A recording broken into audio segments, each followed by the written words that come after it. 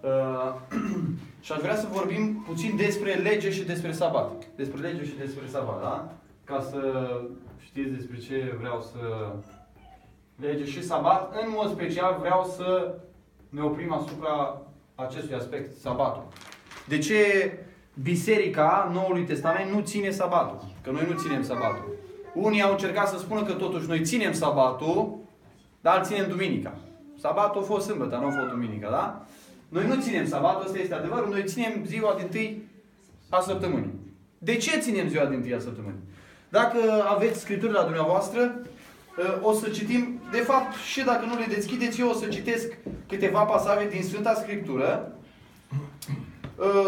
care ne explică puțin și ne elucidează problema aceasta.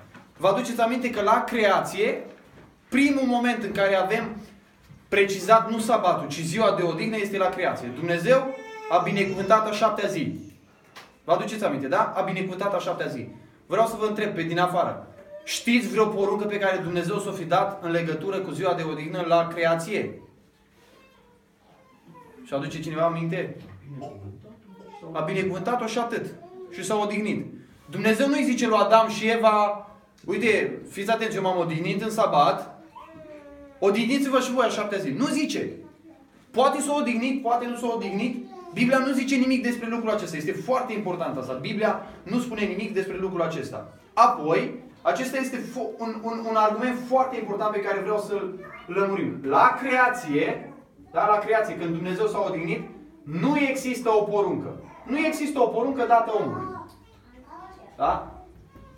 Apoi, dacă ne gândim de la Adam, să zicem de la Adam și până vorbim Adam, patriarhi uh, și până la Moise. Nu găsiți în Sfânta Scriptură că Iacov în ziua sabatului s-a oprit în călătoria lui spre Laban și în ziua sabatului a stat pe câmp și a meditat la relația lui cu Dumnezeu. Vă aduceți aminte de așa ceva? Isaac, Avram, când s-a dus prin Egipt, în ziua sabatului, egiptenii îl vedeau pe Avram că stătea liniștit, nu aprindea foc, nu strângea lemne. Nu găsim așa ceva. Nu găsim așa ceva. Este foarte important lucrul ăsta. Însă momentul în care găsim instituit sabatul este când? Cine... Puteți să, putem comunica acum, da? Putem comunica. Când este instituit sabatul? Spuneți. Da? La... Așa. Când? Exod cât? Exod 20, foarte important. Avem decalogul, da? Numit decalogul sau cele 10 porunci. porunci. Aici se instituie sabatul. Dar este foarte important să înțelegem ce este cu această instituire a sabatului. Pentru acest motiv, pentru înțelegerea acestei probleme, aș dori să ne gândim la câteva legăminte pe care Dumnezeu le face în Sfânta Scriptură. Avem unul dintre legăminte, de exemplu, legământul lui Noe, în care Dumnezeu face o promisiune. Care este promisiunea? Nu promisiunea. Ce promisiune face Dumnezeu? Că nu mai distruge pământul prin ape sau prin potop. Și pe lângă promisiune avem un semn. Da? Un semn. Semnul este curcubeu, da? Apoi haideți să ne gândim la alt legământ. Legământul pe care Dumnezeu îl face cu Avraam. Avem și aici niște promisiuni pe care le face Dumnezeu la Avram. Printre cele mai importante promisiuni este promisiunea că în el vor fi binecuvântate toate națiunile Pământului. Este Tatăl tuturor credincioșilor. Dar avem și aici un semn. Care este semnul? Care este semnul dat lui Avram? Ce a făcut Avram? Ce a poruncit lui Dumnezeu lui Avram să facă? Să? Să taie împrejur tot a zis. Și rob, și copii, toți, toți băieții, bărbații, da, de parte bărbătească, toți oameni de parte bărbătească să fie tăiați împrejur, da? Avem circumcizia sau trăirea împrejur. Circumcizia, da? Scriu aici curcubeu. Și ajungem acum la uh, poporul Israel, ajungem la Sinai. Voi scrie la Sinai. La Sinai, Dumnezeu îl prește poporul Israel, fac toată pregătirea care o fac ei acolo, se sfințesc și așa mai departe. Și Dumnezeu face și aici promisiuni, pune condiții, dar pune și un semn. La Sinai avem instaurat vechiul legământ. Voi scrie vechiul legământ. Foarte important lucrul acesta. Vechiul legământ. La Sinai. Lasă Dumnezeu un semn. Care e semn? Tăierea împrejur exista deja pentru tot poporul Israel și a continuat. Care este semnul? Vreau să vă citesc câteva versete din Sfânta Scriptură. Exodul, capitolul 31. Dar fiți atenți. Vorbește copiilor lui Israel. Cui? Copiilor lui Israel. Să nu care cumva să nu țineți sabatele mele, căci acesta va fi între mine și voi. Voi cine? Copiii lui Israel. Și urmașii voștri, urmașii cui? Copiilor lui Israel. Acesta, sabatul, va fi între mine și voi un semn după care se va cunoaște că eu sunt Domnul care vă sfințez. Exod 31 cu 16. Copiii lui Israel să păzească sabatul. Cine să păzească sabatul? Copiii lui Israel. Prăznuindu-l ei și urmașilor și ascultați. Ca un legământ. Dumnezeu face un legământ cu ei. Ca un legământ. Ca un sens spune ca un legământ. Leviticul 24 cu 8. În fiecare zi de sabat să se pună aceste pâini înaintea Domnului neîncetat. Acesta este un legământ veșnic pe care îl voi ține copiii lui Israel. Nu spune neamurile. Spune copiii lui Israel. În fiecare pasaj spune copiii lui Israel. Deuteronomul 5 cu 15. Aduți aminte că și tu ai fost rob în țara Egiptului. Cine a fost rob în țara Egiptului? Israelul. Și Domnul Dumnezeul tău te-a scos din ea cu mâna tare. Pe cine? Tot despre Israel vorbește. De aceea ți-a poruncit Domnul Dumnezeul tău să ții ziua de odihnă. Cui a poruncit să ține ziua de odihnă? Celor care au fost scoși din Egipt și au fost aduși într-un fel de odihnă fizică a Canaanului, că spirituală n-au ajuns în sărmanii. Ezechiel 20 cu 12. Le-am dat și sabatele mele să fie ca un semn între mine și ei, ca să știe că eu sunt Domnul care îi sfințesc. Ezechiel 20 cu 20. Sfințiți sabatele mele că cele sunt un semn. Nu zice sunt semne. Orice zi de sabat, toate sabatele erau un semn. Toate arătau un semn între mine și voi ca să știți că eu sunt Domnul Dumnezeul vostru. Osea 2, 2 cu 11. Voi face să înceteze toată bucuria și sărbătorile ei, lunile cele noi, sabatele ei. Păi a zis că e sabatul un legământ veșnic. Cum a făcut Dumnezeu să înceteze sabatele în Israel? Pentru că cuvântul acesta veșnic nu arată că sabatul va fi și în cer. Unii spun că în cer noi vom ține sabatul. Oamenii au minte. Atât au minte unii oameni să spună că în cer noi vom ține sabatul. Uite că Domnul spune aici că va face să înceteze sabatul. Și când ne-a trimis în exil, chiar au încetat sabatele. Nu, mă, ce crezi că neamurile țineau cont de uh, legile lor, că vor ei să țină sabatul? Unii erau ei robi, interesat pe cineva de sabatele lor. Asta a venit ca o pedeapsă peste ei. Neemia 9 cu 14.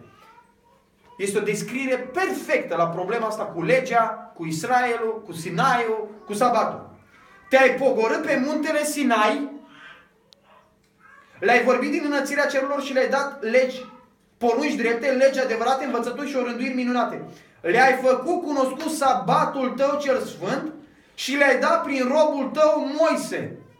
Porunci, învățături și o lege. Cui a dat? Israelului. Unde le-a dat? La Sinai. Prin cine a dat? Prin Moise. Care a fost semnul legământului? Sabatul. Eu vreau să vă întreb, sunteți careva de aici? Ați fost careva de aici la Sinai? N-ați fost la Sinai? N-ați, n-ați fost la Sinai, nu? Sunteți poporul Israel? Sunteți în vechiul legământ și dacă ați fi din poporul Israel, sunteți în vechiul legământ? Înțelegeți? Problema este lămurită foarte clar la punctul acesta. Este lămurită foarte clar. Acum, Domnul Iisus spune două lucruri foarte interesante. Vă citesc doar două versete. Zice Ioan 7 cu 23 așa. Dacă un om primește tăierea împrejur în ziua sabatului, ca să nu se calce legea lui Moise, de ce turbați de mânie împotriva mea pentru că am însănătoșit un om întreg în ziua sabatului? În ziua sabatului n-aveai voie să tai, n-aveai voie să aprinzi focul. Și uite că ăștia trebuiau să-și taie prunci în ziua sabatului să se taie împrejur. Și călcau legea lui Moise, dorind să împlinească legea lui Moise. Legea lui Moise zicea să-l tai împrejur. Numai că să nășteau ăștia și în sabat, domnule, că nu ziceau ăștia femeile, bă, în sabat nu naștem. Nu face nicio muș, nicio muncă în sabat. Stăm, așteptăm în sabat ca să nu cumva să trebuiască să-l tăiem împrejur în ziua sabatului. Nu aveai ce face.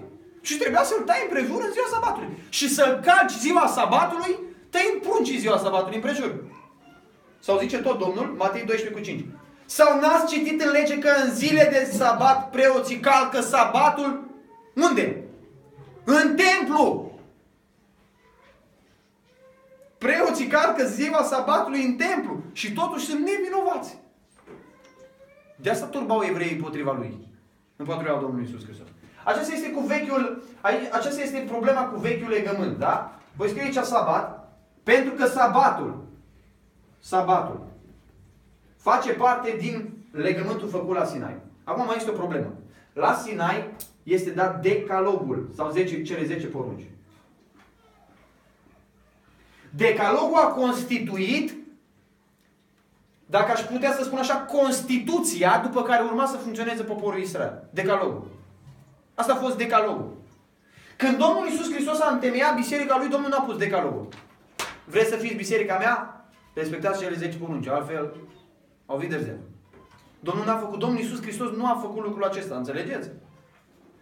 Decalogul a constituit documentul oficial, că până la urmă lui Domnul a scris în piatră, documentul oficial pe baza căruia s-a instituit legământul. A fost un sumar a tuturor legilor. Domnul le-a dat multe legi. Dar un sumar a tuturor legilor, un document oficial în table de piatră să nu se poată șterge pentru poporul Israel la Sinai. Domnule, asta este documentul pe baza căruia încheiem legământul acesta. Când te căsătorești, este un document oficial pe care îl faci. Pe baza căruia funcționează căsătoria. Este o constituție pe baza căruia să face căsătoria. Este un document oficial pe baza căruia să încheie legământul acela de căsătorie. Și asta a făcut uh, Dumnezeu. Acum aș vrea să ne întoarcem uh, puțin către Noul Testament și să vedem ce se întâmplă în Noul Testament. Ce se întâmplă în Noul Testament? Și aș vrea să observați în primul rând că în Noul Testament nu există nici o poruncă de a respecta sabatul, Noul Testament. Nici o poruncă. Le-am spus pe internet în niște discuții cu niște, nu știu dacă se le spun frața adventiști, dacă cred că sunt mântuiți prin lege, nu sunt frații mei, pare rău pentru ei. Le-am spus că le dau 1000 de euro care mi-arată o singură poruncă. În tot Noul Testament. Și Noul Testament totuși are câteva bani. Nu căutați o singură poruncă în Noul Testament, vă dau 1000 de euro. Dacă găsiți o singură poruncă în Noul Testament, să respectăm sabatul, eu vă dau 1000 de euro. Bine, nu i-am să-i dau, da? Mă împrumut și le-ar da dacă ar găsi, că știu sigur că nu o să găsească, dar asta le-am făcut și promisiunea, da? Apoi, mai observați al doilea aspect foarte important, că în Noul Testament nu există niciun păcat precizat legat de încălcarea sabatului. Niciun păcat să zic că ai călcat sabatul, păcat. Domnul Iisus să spună, măi, ți-ai ridicat patul în ziua sabatului. Tu nici știi că nici surcele n-ai voie să ridici în ziua sabatului. Nu-ți aduce aminte pe vremea lui Moise când unul s-a dus să strângă lemne în ziua sabatului că l-a omorât cu pietre? Tu ți-ai ridicat dita mai patul în ziua sabatului. Aoleu! Ce spune Domnul Iisus? Domnul Iisus zice, ridică-ți patul cum, Domnule, spui tu să, să calce lege, să calce sabatul sfânt al lui Dumnezeu? Să-l calce. Iisus, Fiul lui Dumnezeu, să pună pe om să calce sabatul. Nu există niciun păcat. Spune, lasă-mă, păcatul ăsta e permis acum. Nu! Nu există niciun păcat precizat în Noul Testament legat de sabat. În al treilea rând, nu există nicio pedeapsă. Nicio pedeapsă în Noul Testament legat de călcarea sabatului. Să vezi un singur om pe care apostolii Domnului Isus să facă o disciplină. Biserica primară, că un frate o călca sabatul. Au făcut disciplină când au mințit. Au făcut disciplină când veneau și sărbătau la cena Domnului. S-au făcut disciplină că blasfemiau unii. S-au făcut disciplină când unii veneau cu erezii, cu învățături false. Dar nici vorbă de sabat. Nici vorbă. Apropo, dacă cineva vreți la un moment dat să vă dau lucrurile acestea, le, le pot tipări pe foaie fără niciun fel de problemă. Da? Mă interesează să înțelegeți. Uh, aspectul ăsta. În al patrulea rând nu există nicio practică sau o poruncă a sabatului, nici de la patriarhi, cum am spus, de la patriarhi până la Moise, de la Adam, patriarhi până la Moise, poruncă dată în Biblie, o practică pe care o să o vedem clar, dar nici în Noul Testament. Și acum zic, zic unii și vin, vin unii și zic așa, stai, stai, stai, stai, stai, stai. Uite că avem noi prin Marcu, prin nu știu unde, precizat că Domnul Isus, Isus, ai, te-am prins în ziua de sabat, Domnul Iisus se ducea și intra unde? În sinagogă. Dar mai grav, zice că după obiceiul lui, opa, eu aș vrea să vă întreb, în sinagogile cui intra? Murise Domnul Iisus? Era încheiat nou legământ când Domnul Iisus intra în sabat? Era, murise Domnul Iisus? Nu murise. Era încheiat nou legământ? Nu, întemeiat. Dacă era întemeiat nou legământ, era întemeiat, făcut? Nu era făcut nou legământ. Era Domnul Iisus între neamuri? Nu, era între evrei. Când mergeau evrei la sinagogă? Când era să se ducă Domnul Iisus la sinagogă? Vinerea. Se ducea sâmbătă, dacă atunci erau ăștia la sinagogă. Când era să se ducă? Zice, Domnul, ce era Domnul Iisus Hristos? Era grec, roman, ce era Domnul Iisus? Ce era? Era evreu. Când era să se ducă evreul la sinagogă? În sabat. Păi nu poți să aduci exemplu Domnului Isus, care era evreu între evrei în perioada vechiului legământ sau cel puțin la tranziția dintre vechiul legământ și noul legământ. La o tranziție care a existat în perioada vieții Domnului Isus Hristos. Dar zic ei, stai așa, mai știm niște exemple. Uite, spune Biblia că Pavel intra și el în sinagogă Domnului în ziua sabatului. Eu aș vrea să vă întreb, când Pavel se ducea, de exemplu, spun și eu așa, în Efes. Prima dată, asta a fost strategia de misiune a Apostolului Pavel. Pavel se ducea prima dată la evrei. Întâi se ducea la poporul Domnului, după aceea, dacă ăștia încăpățânați, la un moment dat în faptele apostolului spune că și-a scuturat picioarele și a zis, de acum mă voi duce către neamuri. A văzut în ce direcție vor evreii să meargă, sănătate bună și a plecat. Când Pavel intra, venea la șasa. Să zicem că era o adunare de evrei la șasa. La noi la Fălceni au fost două sinagogi foarte mari. A fost un orar de evrei. Dacă eu vreau să mă duc să evangelizez pe evrei și să-i prind pe mai mulți la un loc, vă întreb pe dumneavoastră, când să mă duc să-i prind pe mai mulți la un loc? În sabat. Zic, nu, domnule, eu mă duc duminica. Tu poți să te duci un evrei, duminica e închis la evrei. Domnule, la mintea, scuzați nu vreau să jignesc pe nimeni, dar n-avea când să se ducă Pavel altcândva să întâlnească pe evrei decât în ziua sabatului. Când era să întâlnească Pavel pe evrei? Decât în ziua sabatului. Așadar, exemplul Domnului Iisus și Apostolului Pavel nu arată că noi trebuie să ținem sabatul, ci arată dorința lor de a se adresa întâi poporul Israel. Domnul zice că a fost trimis la oile pierdute ale casei lui Israel. Domnule, că nu-i timpul, zice, să mă duc către neamuri. Către neamuri s-au dus apostolii Domnului Iisus Hristos. Așa. Apoi, mai aflăm, în al cincilea rând, că Domnul Iisus a dat multe porunci în Sfânta Scriptură. Domnul Iisus a dat porunci, da? Știți că Domnul Iisus a dat porunci. Și unii zic așa, nu a zis Domnul Iisus, dacă mă iubiți, veți păzi poruncile mele. Și zice, veți păzi poruncile mele care? Adică cele 10 porunci. Dar dacă citești acolo la Ioan, capitolul 14, capitolul 15, Domnul zice, vă dau să ține sabatul. Nu să ține sabatul? Cum de? Vine unul la Domnul Isus. Măi, Doamne, vine unul la Domnul Isus. Doamne, ce să fac ca să moștenesc viața veșnică? Domnul, ca să-l pună, să-i arate cât de stricat, îi zice, ține poruncile. Care? Și Domnul zice, prima, ține sabatul. I-a zis Domnul așa. Nu i-a zis, fiind siguri. Nu i-a zis, nu? Citează Iacov, Pavel de mai multe ori, zice, orice poruncă ar fi, să nu furi, să nu poftești. Niciodată în Noul Testament, apostolii și Domnul Isus nu precizează porunca sabatului. Niciuna nu zice, tu te și ține sabatul. Dar zice altele. Dar să ții sabatul nu zice. Nu vi se pare curios? Hai, domnule, chiar să evite toți cu... Din greșeală tot să evite porunca sabatului. Le pot aminti pe toate, dar uită, uita, domnule, de porunca sabatului Domnului Isus. Ține sabatul. Cui? Spuneți-mi, știți cui a zis Domnul să ține sabatul? Ține sabatul. Nu? Apostolii. În biserică. Ține sabatul. Dacă găsiți între timp să-mi spuneți. Poate lămurim problema asta, da? Bun. Am lămurit lucrul acesta că Domnul Isus a intrat, ăsta e un argument, în sinagogă în ziua sabatului pentru că era la evrei. Da? Lucrul acesta este clar. Apostolii, apostolii au intrat în ziua sabatului tot la evrei, pentru că atunci îi găsea pe evrei, da? Apoi, vă dau un alt argument foarte important, foarte, foarte important. Ce a fost sabatul? Ce a fost sabatul? Ce a fost sabatul? Sabatul a fost următorul lucru. Vreau să vă citesc la Evrei, capitolul 10, versetul 1. În adevăr, legea, ascultați, legea care este umbra bunurilor viitoare. Nu înfățișarea adevărată a lucrurilor. Unii zic, a, nu numai legea ceremonială. Domnule, ce nu spune legea ceremonială? Citești tot evrei, nu spune legea ceremonială. Spune legea. Ce este o umbră? Vă vedeți umbra mea pe aici. Vă întreb, ăla de jos e Andrei? Nu, aia e umbra mea. Și Domnul spune aici, legea a fost o umbră. Și sabatul a fost o umbră pentru că face parte din lege. Vă mai citesc un text.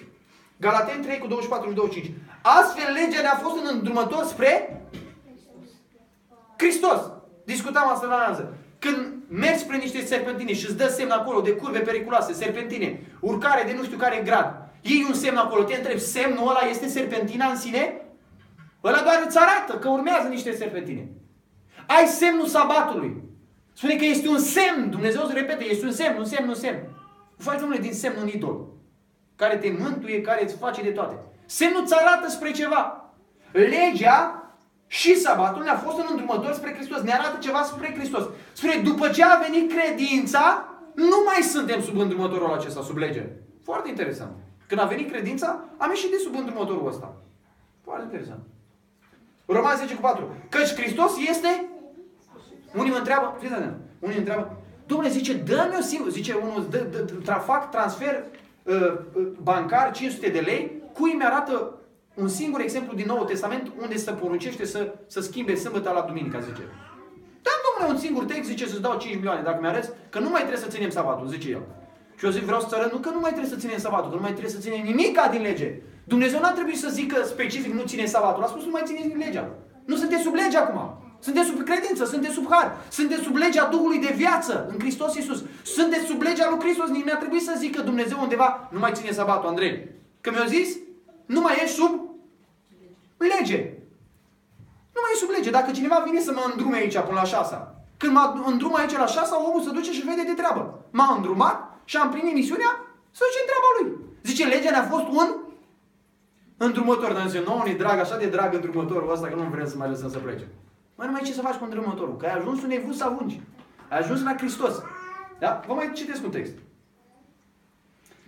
Evrei 7 cu 19. Căci legea n-a făcut Nimic de săvârșit. Auziți? Legea n-a făcut, nu pe nimeni, nimic de săvârșit. Domnule, n-a făcut pe nimeni a nepregăni legea. Și pe de alta zice, se pune, ascultați, în loc o nădejde mai, pune, mai bună. Ce s-a pus în, în locul legii? O nădejde mai bună. Cine e nădejdea? Ce e nădejdea? Hristos în voi? Eu dacă spun, uh, uitați, îl pun asta aici. Și zic, în loc la carioca roșie, pun carioca neagră. Mai este carioca roșie acolo? Nu, ei zic, nu, zice, au venit Domnul Iisus Hristos să ne ajute să ținem sabatul. Adică ținem și carioca roșie și carioca neagră. Dar aici nu spune așa, că să le ținem pe amândouă. Vă citesc din nou. Legea n-a făcut nimic de săvârșit și pe de altă și pe de alta se pune în loc o nădejde mai bună prin care ne apropiem de Dumnezeu. Matei 11 cu 13. Ascultați cuvântul. Căci până la Ioan au prorocit toți prorocii și legea. Până când? Până la Ioan. Doamne, până aici, s-a trasat clar. Până la Ioan au prorocit toți prorocii și legea. Toți. Gata. Când a venit Ioan, Ioan deja a fost premergătorul, cel care a profețit în temeierea unui alt legământ, a profețit despre Domnul Isus care venea să facă alte lucruri, a fost premergătorul unei alte ere, unei alte dispensații, a fost despre altceva. A fost despre alte ceva. Și apoi aș vrea să, am mai spus eu multe lucruri aici, vreau să vă prezint încă un argument foarte important, care consider că este cel mai important eveniment, cel mai important argument. Ziua Domnului sau ziua din tâia săptămânii sau duminica. Da? Duminica. O scriu duminică, deși nu prea îmi place mie să folosesc neapărat termenul ăsta, dar vă spune duminică. Duminica, ziua Domnului, ziua din tâia săptămânii, este ziua pe care Dumnezeu a umplut-o a umplut-o de o grămadă de semnificații. Deci când te uiți la moment Domnul Isus a murit, în momentul învierii Domnului Isus Hristos, adică duminica, ziua întâia săptămâni, în momentul acela, în ziua aceea s-au întâmplat o groază de evenimente care arată că Dumnezeu nu pune accent acum pe sabat, ci pune accent pe ziua întâia săptămânii. Și vreau să vă citesc câteva. În ziua întâia săptămânii, da, duminica, Dumnezeu confirmă planul răscumpărării prin faptul că l-a înviat pe Domnul Isus, corect? Zice, l-a înviat pentru că ne-a socotit neprihăniți. În ziua, dacă Domnul Isus rămânea mort, toată lumea avea dubii cu privire la lucrarea pe care a făcut-o. Corect sau nu? Da? Dar în ziua aceea este o declarație publică a lui Dumnezeu că lucrarea lui Hristos este acceptată, este primită, este reală, este autentică. Tot ce a spus și a făcut Domnul Isus Hristos este adevărat. Este o confirmare a răscumpărării noastre. În al doilea rând, este o pecetluire a răscumpărării noastre, a eliberării noastre, da? În ziua întâia săptămânii are loc cel mai important eveniment. Care e evenimentul? Evenimentul mântuirii noastre. Fără învierea Domnului Isus, nimeni nu putea să fie mântuit numai cu moartea Domnului Isus Hristos. Că am citit dimineața Romani, capitolul 6, unde spune că la fel cum am înviat Domnul Isus, am înviat și noi împreună cu El la o viață nouă. Noi avem viață pentru că Isus a înviat. Când a venit viața Domnului? Când? În ce zi? Vi se pare dumneavoastră un lucru de puțină importanță ziua în care Dumnezeu a pecetluit venirea vieții prin Domnul Isus Hristos pe pământ? E chiar așa neimportantă? Eu zic că e foarte importantă. N-a venit în sabat. A venit în ziua din tâia săptămânii. Atunci a venit viața. Atunci a fost cea mai mare declarație de viață pe care Dumnezeu a vrut să o facă pentru întreaga umanitate. Domnule, viața este în Domnul Isus Hristos. Când a făcut lucrul ăsta? Duminică. În al treilea rând, primul serviciu de închinare, primul serviciu de închinare, după ce se pecetluiește legământul cel nou în sângele Domnului Isus. Vă aduceți aminte, spune lucrul ăsta la cină, nu mai este, cred eu, necesar să repetăm lucrul ăsta, nu? Acesta este paharul sau acesta este sângele legământului celui nou. Pe care Domnul l-a făcut în legământul cel nou pe care l-a făcut în sângele lui, da? În ziua întâia săptămânii Domnul, în ziua întâia săptămânii Domnul primul, ține primul serviciu de închinare. Cu cine îl ține primul serviciu de închinare? Vă aduceți aminte? Cu cine? Care ucenici? Mai ei alții. Aduceți-vă aminte. Mai ei alții. Cu cine a mai ținut Domnul serviciu de închinare? Da? În toată regula. A ținut un serviciu de închinare în toată regula. Spuneți cu cine? Cu doi ucenici. Da? Merge și Domnul ține acolo o predică, merge cu ei la cină, la frângerea pâinii, zice, i-a sclipit ochii, ele.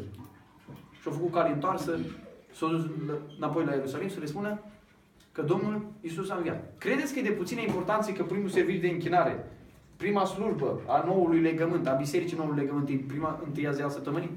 De ce n-a făcut Domnul să fie în sabat, Domnule? Să nu se arate până în sabat ca să nu cumva să le treacă pe ăștia prin cap, să, lase, să nu se mai ducă la sinagogă în ziua sabatului și să se ducă duminica. Dar Domnul primul serviciu de închinare îl ține în ziua din tâi a săptămânii. În al patrulea rând, prima predică a Domnului este ziua întâi a săptămânii. Vreau să deschide cineva la Luca 24 cu 27, să citească cineva. Aș dori să citească cineva cu glas tare. Luca 24, cine găsește primul, citiți. Luca 24 cu 27. Luca 24 cu 27.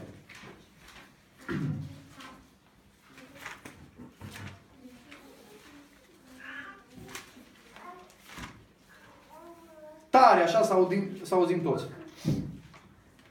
24 cu 27. Și a început de la Moise și de la toți prorocii și ne-a tâlcuit în toate scripturile ce era cu privire la el. Auziți, de la Moise și de la toți prorocii și le-a tâlcuit, auziți, în toate scripturile. Cam cât de lungă credeți că a fost predica asta? Zice tot ce era cu privire la el. Cum în Moise și în proroci? Domnul a vorbit despre cine? N-am vorbit despre sabat. A vorbit despre el. Zice, dacă citești legea pe Moise, pe proroci, afli despre... Ce spune Domnul? Cercetați Scripturile? Socotiți că în ele aveți viața veșnică, dar tocmai ele ce fac? Vorbesc? Despre mine. Adică viața veșnică o găsești în Scriptură, dar viața veșnică este în Domnul Isus Hristos. Pe Domnul Isus îl găsește acolo, da? Prima predică a Domnului Isus, așa, probabil foarte lungă, este ziua întâia săptămânii. Ziua întâia săptămânii prima celebrare a cinei, a părtășiei, a frângerii pâinii, dacă a fost cina Domnului, dacă a fost o, o masă de dragoste cu ei acolo, cină obișnuită de seară, sunt multe discuții aici, are loc în prima zi a săptămânii. În al șaselea rând, manifestările vizibile a Domnului Isus Hristos au loc în ziua întâia săptămânii. Vreau să vă duceți acasă, să luați Biblia și să spuneți ce s-a întâmplat din ziua învierii Domnului Isus până următoarea săptămână duminică. Să spuneți ce s-a întâmplat. Ce spune Biblia că s-a întâmplat? Știe cineva? Ce s-a întâmplat din ziua în care a înviat Domnul Isus până în următoarea duminică? Ce spune Biblia că s-a întâmplat? Nimic. Doamne, nu găsești nimic. Absent. Spune că în ziua întâia săptămânii a înviat, s-a arătat la ucenici și lipsea cineva. Cine? Toma. Când s-a arătat Domnul a doua oară? Prima zi din a doua săptămână. De ce nu s-a arătat miercuri? Sau un sabat? Eu zic că dacă s-a arătat în sabat era o treabă. S-a arătat, zice, peste 8 zile. Da? Ai 8 zile. Peste 8 zile. Duminică, luni, marți, miercuri, joi, vineri, sâmbătă, a 8 zi, duminică. Păi de ce? Chiar credeți că e la întâmplare? Mie mi-e greu să cred. Mi-e foarte greu să cred că, că este la întâmplare. Manifestările vizibile a Domnului Isus Hristos au un loc în ziua întâia săptămânii. Domnul Isus, marea dorință și așteptare a credincioșilor din Vechiul Testament era spre această mântuire pe care vrea să o lucreze Domnul Isus Hristos. Că spune în 1 Petru capitolul 1 că profeții au profețit despre patimile Domnului Isus, despre slava care avea să vină. Și au vrut să ajungă la mântuirea aceasta, dar o trebuie să ne aștepte pe noi. Da? Și promisiunea venirii Duhului Sfânt care e făcută peste tot în Vechiul Testament, în Ezechiel, peste tot în Vechiul Testament. Este o promisiune în Ioela, venirii în abundența Duhului Sfânt este făcută când? În ziua întâia săptămânii. A venit în mijlocul lor, Domnul Isus și a spus, luați Duh Sfânt. Pe ce n-a făcut-o în altă zi? Crezi că promisiunea asta e așa mică?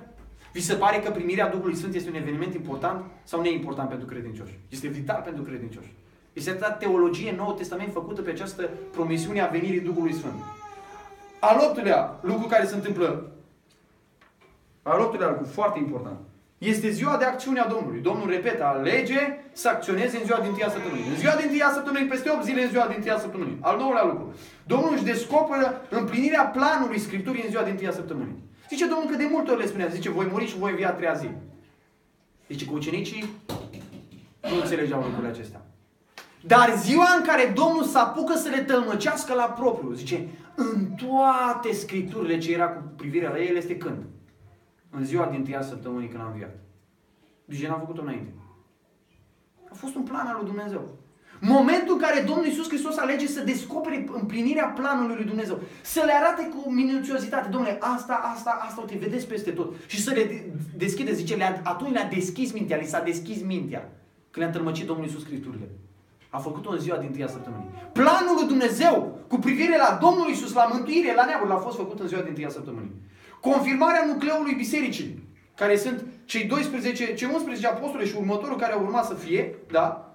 Și uh, înzestrarea lor cu, cu, cu, cu uh, să zic, misiunea asta de evangelizare a întregii lumi se face în prima zi a săptămânii.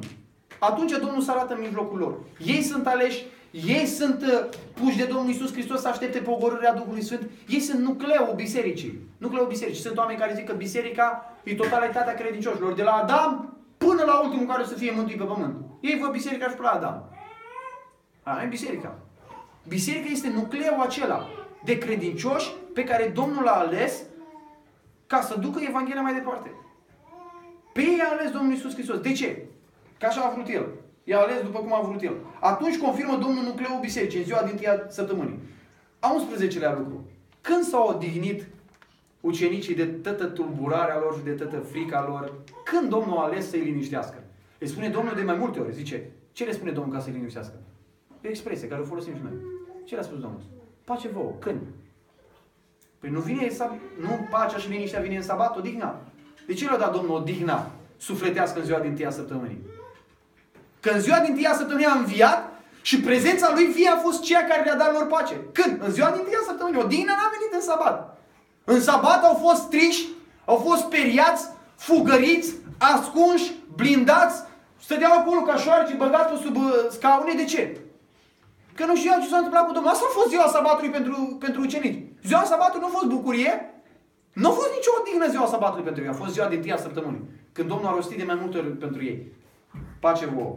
Prezența Domnului Isus Hristos este în ziua din tâia săptămânii, arătată mai multe feluri. La femei, la ucenici pe drumul uh, Emausului, da? La, iarăși la ucenicii uh, adunați la oaltă. Iarăși peste 8 zile la ucenicii adunați la oaltă. Al 13-lea lucru care se întâmplă în ziua din tâia săptămânii. Primirea mandatului. Cum a ajuns Evanghelia la noi, frați și surori? Prin mandatul pe care Dumnezeu l-a dat ucenicilor. Mergeți în toată lumea, și faceți ucenici din toate neamurile, botez de numele Tatălui, Fiului și a Duhului Sfânt și învățați-i să păzească tot ce v-am poruncit eu. Când au primit ei porunca aceasta? Sunt mai multe instanțe în care este pomenită, dar una dintre instanțe este ziua întâia săptămânii. Citiți, a suflat peste ei Duhul Sfânt și le-a spus. Atunci le-a spus porunca, pe care a repetat-o mai târziu, dar le-a spus atunci porunca. Trebuie să mergeți la toate neamurile și să se vestească în numele Lui iertarea păcatelor. Asta a fost ziua în care au primit mandatul de evangelizare a lumilor. Asta a fost ziua în care, a lumii, asta a fost ziua în care Domnul le lămurește că toate neamurile sunt primite prin Evanghelie în mântuire. Gândiți-vă pentru un evreu să audă că trebuie să ducă la neamuri. Păi ajungi prin fapte capitolul 10, 11, 15. Ăștia încă nu erau lămuriți că trebuie să ducă la neamuri. Domnul a spus în ziua din tâia săptămânii lucrul acesta. Pavel, Petru s-a gândit când a văzut imaginea aceea, viziunea aceea. Cum să se ducă el să mănânce cu neamurile, să predice Evanghelia la neamuri? S-au dus în, au ieșit din, din, din Ierusalim evrei și s-au dus în, în, în tot imperiul și zice că mulți predicau numai la evrei. Încă nu și-au băgat mințile în cap, nu au înțeles. Dar Domnul, promisiunea că neamurile sunt acceptate prin Evanghelie, în biserică, în mântuire, în împărăția lui Dumnezeu, a făcut-o în ziua din tâia săptămânii. Clar a făcut lucrul acesta. Că toate neamurile, că Evanghelia iertării păcatelor prin Domnul Isus Hristos se duce la toate neamurile și a făcut uh, promisiunea aceasta în ziua din tâia săptămânii. Și apoi mai este un eveniment important. A 15-lea lucruri care se întâmplă. Vedeți cât de multe lucruri. Evreii au avut multe sărbători. Sărbătoarea 50 sărbătoarea 50 avea loc după 49 de zile, da? 77, 49, plus una. Dacă a șaptea zi e sabatul, următoarea zi după sabat ce Ziua din tâia săptămânii. Când s-a pogorât Duhul Sfânt? Unul dintre cele mai importante evenimente din istoria întregii lumii este pogorârea Duhului Sfânt. Când a făcut Dumnezeu o confirmare de netăgăduit care e biserica lui, care e etapa nouă în planul lui Dumnezeu care a început, care e ucenicii lui, care e Evanghelia adevărată, care e proclamarea adevărată, care e tălmăcirea Scripturii adevărate, care e slujitorii lui, prin pogorârea Duhului Sfânt, că Duhul Sfânt n-a pogorât peste toți evreii care erau pe acolo. Că de asta spunea unii căzbeți. În ziua din tâia săptămânii. De ce n-a făcut Dumnezeu asta în sabat? Pentru că nu avea niciun sens, nu avea nicio treabă sabatul cu chestiunea asta. Nu avea nicio treabă. Nu avea nicio treabă. Uh, unii, bineînțeles, discută că biserica s-a format mai târziu. Părerea mea personală este că ziua oficială a formării bisericii noului legământ, nu a Israelului, este în ziua tâia săptămânii când s-a pogorât Duhul Sfânt peste ei. Primirea nu promisiunii, poruncii de a evangeliza toată lumea. Porunca a fost dată în ziua din tâia săptămânii. Dar primirea puterii de a evangeliza toată lumea a fost tot în ziua din tâia săptămânii. Zice Domnul, veți primi o putere când se va pogorâ Duhul Sfânt peste voi. Când au primit puterea asta? La pogorârea Duhului Sfânt. Când a fost pogorârea Duhului Sfânt? În ziua din tâia săptămânii. Da? A 18 la lucru care se întâmplă. În ziua aceea primesc daruri pentru biserică. În ziua aceea sunt binecuvântați. În ziua aceea sunt binecuvântați. Avea dacă cineva poate să deschidă la fapte capitolul 20, versetul 7, sper că ăsta este textul. Până atunci vă mai dau al 19 la lucru care se întâmplă în ziua întâia săptămânii. Știți că Ioan are o vedenie, zice că în ziua Domnului era în Duhul și l-a văzut pe Domnul Isus Hristos în toată splendoarea Lui. E ziua întâia săptămânii. Nu s-a l-a văzut. Și ultimul argument este din fapte capitolul 20. Cine ar vrea să citească? Fapte capitolul 20, versetul 7. Ziua din tâia săptămânii eram adunați la oaltă ca să frângem pâinea. Cât? Pavel, care trebuia să plece a doua zi, vorbea ucenicilor și, alu, și l-a lungit vorbirea până la miezul nopții. Ce s-au întâlnit să facă în ziua din tâia săptămânii? Să frângă pâinea.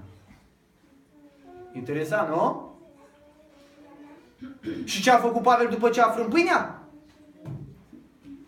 Ce a făcut? Spune stare, ce a făcut? O predicat. Întâlnirea adunării, când te uiți spre sfârșitul cu, cu cât progresează Cartea Faptelor Apostolului, întâlnirile adunării. Zice, la un moment dat, i-a separat pe ucenici de evrei și se întâlneau în ziua din tâia săptămânii. Nu sabat.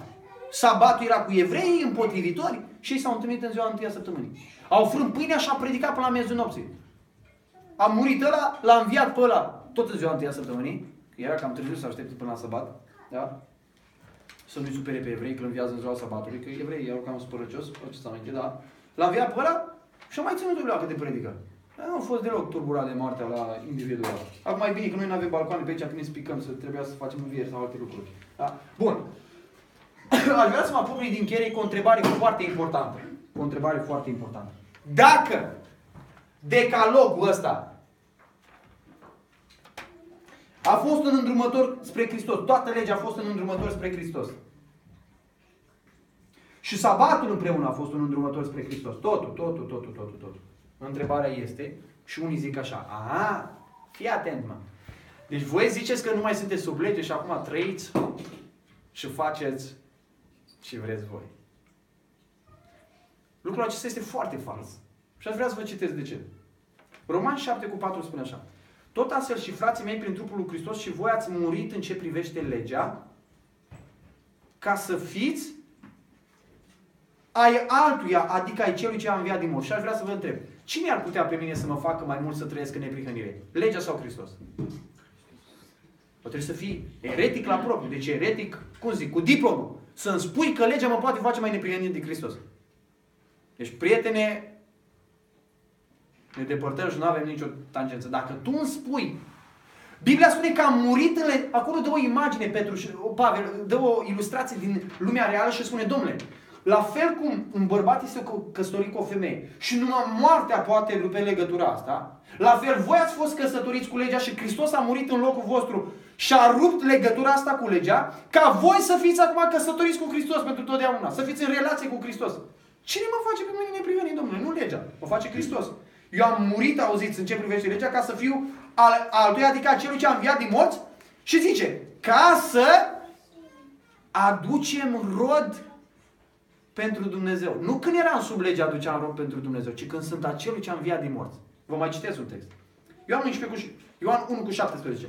Legea a fost dată prin Moise, dar harul și adevărul a venit prin Isus Hristos. Nu sunt sub lege, dar sunt sub harul și adevărul lui Hristos. Romani cu 2. În adevăr, ascultați sub ce lege suntem noi. Cu unii zice, nu mai suntem sub nicio lege, ba da, suntem sub o lege. În adevăr, legea Duhului de viață în Hristos Iisus m-a izbăvit de legea păcatului și a morții. Dați-mi un singur om din Biblie care a fost izbăvit de păcat prin lege. Ce spune Biblia că face legea? Zice, păcatul a țățat poftele prin lege. Prin lege vine de plina cunoștința păcatului. Spune Biblia așa, legea Duhului de viață m-a izbăvit de legea păcatului și a morții. Cu alte cuvinte, eu care sunt credincios și spun, nu sunt sub legea lui Moise, eu nu trăiesc în păcat. Eu trăiesc după legea Duhului de viață în Hristos Isus. Zice, dacă sunteți călăuziți de Duhul, nu mai sunteți sub lege. Eu nu mai am nevoie acum să mă duc să citesc legea lui Moise ca să fac ce îmi cere Dumnezeu. Eu am Duhul Sfânt care îmi spune ce să fac Dumnezeu, care îmi spune ce să fac după voia lui Dumnezeu. Vă întreb, vă întreb din nou. Ce poate mai mult să mă facă să trăiesc neprihănit? Duhul Sfânt sau legea? Vă întreb cât de eretic poți să fii să spui că legea te poate face mai sfânt decât te face Duhul Sfânt. Cât de eretic poți să fii? Sunt unii care zic așa, a, nu, Domnul Isus a murit ca noi să putem împlini legea. Noi am primit Duhul Sfânt ca să împlinim legea. Adică și Domnul Isus și Duhul Sfânt sunt sclavii legii. Ei totul, toți se direcționează spre lege. Nu poate Duhul Sfânt să mă facă să trăiesc după voia lui Dumnezeu, că e Dumnezeu Duhul Sfânt. Trebuie Duhul Sfânt să slujească, să mă facă să slujesc legea. Că Biblia spune cu totul altceva. Biblia spune cu totul altceva. Auziți. 1 Corinteni 9 cu 21. Măcar că nu sunt fără o lege a lui Dumnezeu, ci sunt sub legea lui Hristos. Vedem imediat care e legea lui Hristos. Căci eu prin lege am murit față de lege ca să trăiesc, nu zice ca să trăiesc în păcat, cum ne acuză unii. Ca să trăiesc pentru Dumnezeu. Mai sus a spus ca să duc rod pentru Dumnezeu. 2 Corinteni 3 cu 6. Care ne-a și făcut în stare să fim slujitori a unui legământ nou nu al slovii sau al legii, ci al Duhului. De ce, domnule, să nu mai slujim legea și să slujim prin Duhul? Păi zice de ce? Căci legea, slova, ce face? Omoară, iar Duhul dă viață. Tu când mă chem pe mine la lege, tu mă chem la moarte, domnule. Mă chem la condamnare, că legea nu mă ajută cu nimica. Duhul să mă ajută. Duhul să mă ajută. Și acum, faceți aminte, închei cu acest exemplu din Sfânta Scriptură care este foarte important. Unde spune Domnul Iisus Hristos, n-am venit să stric legea, ci să o... Foarte important, foarte important. Domnul n-a venit să strice legea, ci să o împlinească. Împlinesc. Cuvântul ăsta împlinesc este foarte important. Este foarte important, e crucial. Crucial. El a venit să o împlinească, zice. Foarte interesant. În Matei, capi, în Matei, textul acesta este în Matei, capitolul 5, în Matei, ca, în Matei apare expresia legea și prorocii și prorocii de patru ori. Am pus aici, de patru ori. Legea și prorocii apare de patru ori. Prima dată apare Matei, capitolul 5. Mai apare o dată, mai apare o dată, mai apare o dată. La un moment dat apare în pasajul pe care l-am citit unde spune că legea și prorocii au ținut până la până la Ioan. Întrebarea este, de ce o ținut legea și prorocii până la Ioan? Păi de ce o ținut până la Ioan? Asta spune că a ținut până la... De ce o ținut până la Ioan? Că după Ioan cine a fost? Și ce a făcut Domnul Isus? De asta nu ținut până la el. Pentru că când a venit împlinirea, nu mai era nevoie de îndrumător, nu mai era nevoie de umbră. De asta spune că până la Ioan, că următorul după Ioan, chiar concomitent cu Ioan, că s-a suprapus Ioan cu Domnul Isus Hristos. Lucrarea celor doi s-a intersectat la un moment dat. Vă aduceți aminte că spune unii, Doamne, botează. Uite că este ăla care botează acolo, da? A fost o ceartă între ucenici acolo. Că botezau amândoi. Și spune, de fapt, botezau ucenicii Domnului Isus. Botezau concomitent, că a fost o tranziție de la Ioan care a pregătit venirea lui Mesia la venirea la propria lui Mesia, da? De ce spune că a venit până la Ioan? De ce a fost până la Ioan legea și prorocii? Pentru că a venit Domnul Isus care era împlinirea legii. A venit Domnul Isus care era împlinirea legii. Și acum, în mai multe pasaje din Sfânta Scriptură eu voi citi doar pe unul din Matei, pentru că despre Matei vorbim, da? Avem prima instanță, Matei capitolul 5, uh, pasajul ăsta nu mai știu exact prin ce, capitolul 11, ceva de genul pe acolo unde Domnul vorbește despre Ioan Botezător, am impresia când a fost prins de Irod. Ultima instanță este Matei capitolul 22, ultima instanță e Matei capitolul 22, în care Matei folosește din nou expresia legea și prorocii, că a venit să împlinească legea și prorocii și ne explică ce înseamnă această împlinire a legilor și prorocii. Auzi ce înseamnă. Iisus a răspuns să iubești pe Domnul Dumnezeu tău cu toată inima ta, cu tot sufletul tău și cu tot cugetul tău. Aceasta este cea din tâi și cea mai mare poruncă. Iar a doua asemenea este să iubești pe aproapele tău ca pe tine însuți. Mi-am adus aminte și a treia instanță unde spune tot ce voi să vă facă vouă oamenii, faceți și voi la fel. În aceasta este cuprinsă legea și prorocii. Și ultima asta este, zice Domnul așa, în aceste două porunci se cuprinde sau se împlinește toată legea și prorocii. Mă zice, de fapt, tot ce o vrut să vă spună prorocii și legea, a fost să iubiți. Să iubiți. Și avem noi versetul ăsta, zicem noi, versetul de aur. Vedeți ce important, ce, ce frumos se completează, uh, nu Ioan, uh, am rămas uh, blocat pe evrei uh, de dimineață. Ioan 3 cu 16, nu? Domnul Iisus a venit să împlinească legea. Ce e legea? Care e esența legii? Care e esența legii? Toată legea și prorocii se cuprind în a, a ce? A iubi, da? Când iubim, asta e împlinirea legii. Care e legea lui, sub care suntem noi? Legea lui Hristos. Ce e legea lui Hristos? Legea dragostei. Și vreau să observați în ce fel Domnul Isus a împlinit legea dragostei. Fiindcă atât de mult a iubit Dumnezeu lumea, că a dat pe singurul său fiu. Domnul zice, nu este mai mare dragoste decât să-și dea viața cineva pentru prietenii săi. Ce a făcut Domnul Isus Hristos pentru noi? A murit pentru noi, nu? Și a arătat dragostea desăvârșită. A împlinit legea și prorocii. Ce au profi... Zice că legea și prorocii vorbesc despre Hristos. După aia spune că legea și prorocii, foarte important. Haideți să facem aici o, o, o ecuație simplă. Zice că legea asta și prorocii vorbesc despre Hristos, legea și prorocii vorbesc despre dragoste. Foarte interesant. Legea și prorocii vorbesc despre Hristos, legea și prorocii vorbesc despre dragoste. Domnul Isus Hristos a venit ca revelare supremă a planului lui Dumnezeu, arătându-ne dragostea lui Dumnezeu. Așa a împlinit legea și prorocii. Ce e legea și prorocii? Dragostea. Hristos a venit și a spus, eu sunt. Vrei să vezi cu adevărat ce e dragostea? Uite-te la Domnul Isus Hristos. Și Domnul Isus Hristos pe noi toți care ne-a răscumpărat ne-a pus sub o lege. Vă dau o poruncă nouă. Să vă iubiți unii pe alții. Zice a, același apostol Ioan în 1 Ioan capitolul 2, dacă nu mă înșel, că cine spune că îl cunoaște și urăște pe fratele său. Are nicio treabă, da? Ce treabă are? Dar aceea spune cine îl cunoaște pe Dumnezeu, cine e născut din Dumnezeu, păzește poruncile lui Dumnezeu. Și ce vezi? Păzește poruncile lui Dumnezeu. Care are poruncea lui Dumnezeu? Decalogul. Cele 10 porunci.